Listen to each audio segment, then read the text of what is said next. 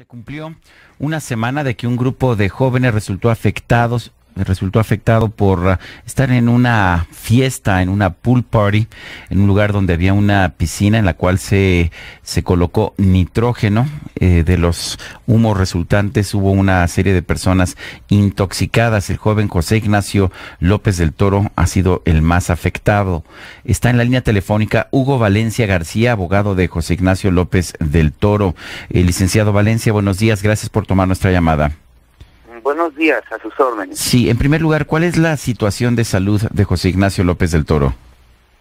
Mire, hasta donde yo eh, me quedé, porque no hablé yo con la familia el día de ayer, la última comunicación que tuve yo con ellos fue el sábado por la tarde, el muchacho estaba mejorando, seguía todavía en una situación delicada, pero sí con cierta mejoría respecto del día anterior. La verdad que la complejidad de, de lo que tuvo de lesiones, pues hace que el avance sea poco a poco, pero sí se ha ido en un sentido de ir mejorando su situación. Abogado, en el caso de, de José Ignacio, ¿qué fue lo que ocurrió? ¿Estaba él en la fiesta? ¿Fue invitado? ¿Quién lo invitó? ¿Qué fue lo que sucedió?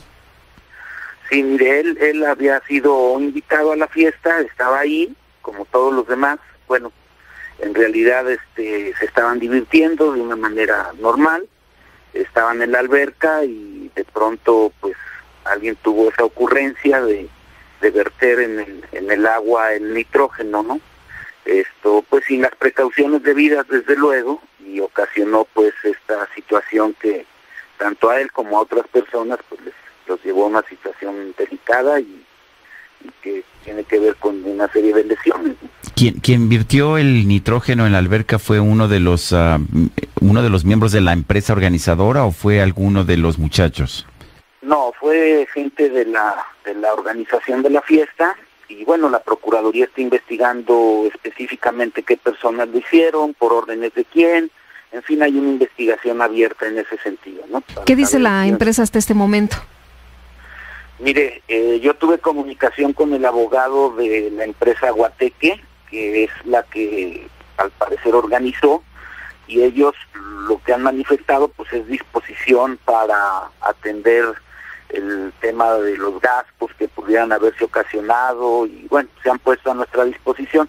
Yo voy a tener una comunicación hoy con la familia de Ignacio para comentarles esto todavía no podemos hablar de arreglos porque no sabemos ni cuál va a ser el desenlace final de esta situación de José Ignacio, es decir, eh, hasta dónde puede haber o no alguna afectación y también pues no sabemos la responsabilidad realmente sobre quién va a acabar recayendo porque eso deriva de las investigaciones que haga la Procuraduría.